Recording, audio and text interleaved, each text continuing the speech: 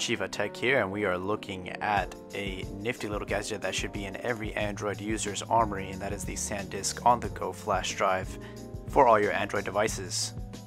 Before I go any further, I want to show you a little collection that I have just so we can appreciate our progression in technology. As you can see, a 32 megabyte SD card, then a micro SD card that is a 32 gigabyte, and finally the 64 gig flash drive. And this isn't your average normal flash drive, it is USB 3.0 on one end and micro USB on the other.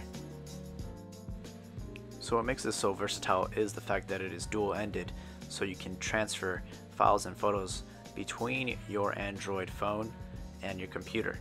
As you can see, OEMs have gotten better and better with design, but they are starting to phase out that micro SD card slot. And let's be honest, guys, we all know that that is a dying breed amongst OEMs.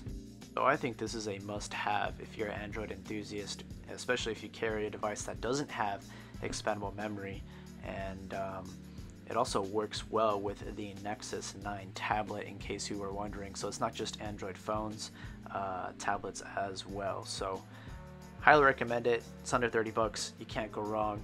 And um, if you have any questions, let me know. Thanks, guys.